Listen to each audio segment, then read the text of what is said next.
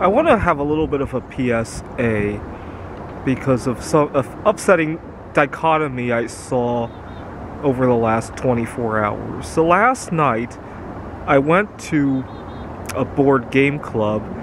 They were holding a tournament for Magic the Gathering. And um, I saw three couples there, but they didn't bring any of their friends who were solo sexual, right? It was a triple date. And then this morning, on my way to the office, uh, as I'm driving down uh, the uh, 156 Avenue to get to the, the highway, I see five birds flying in a V formation. And in my mind, I think of it as a triple date, but with one of the birds being solo sexual. And it, it's it saddened me to think that birds could do something that humans are incapable of, or we have this prejudice, right? You go to the workplace as a single guy, people want to know if you finally got a girlfriend. I got some news for you. Not everybody who is single is out there looking for somebody. I also have some news for you. Next time you um, you prepare your favorite dish and you offer it at a party and somebody uh, refuses, not everybody is tempted to dig in. You might be thinking, well, this guy's on a diet and he must be really uh, uh, resisting the temptation. No, I'm here to tell you, not everybody needs to resist any sort of temptation. Uh, they have other interests besides the food, right? That's not to say they hate you for preparing the food. That's to say that it's not compatible with their bodies, right? I also have some news for you. Not everybody can safely pick up a food and put it in their mouth without finding out what went into it, right?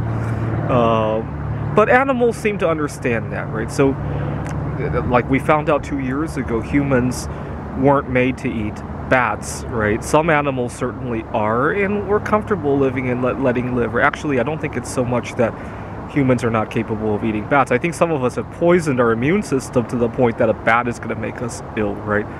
And um, I think I'm living proof of that. I've tested positive for eating bats twice, and I hardly felt a thing, right? Although I did try to stay away from other people, obviously. Anyway, uh, the other thing I want to point out is not everybody enjoys life in the same way that you do, right? So, uh, at my office, a lot of people, when they think of vacation, they think about going to. I think the top top three vacation destinations are New York, Las Vegas, New Orleans, and I think Los Angeles. And um, those are not my cup of tea, right?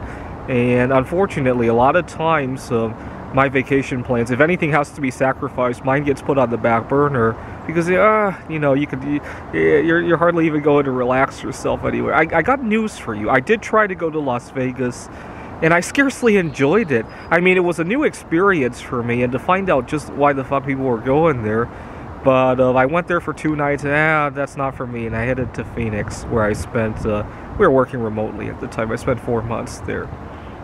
Anyway, anyway, uh, don't assume people love what you love. Uh, don't assume everybody needs somebody else, either of the opposite sex or uh, anybody at all. Right?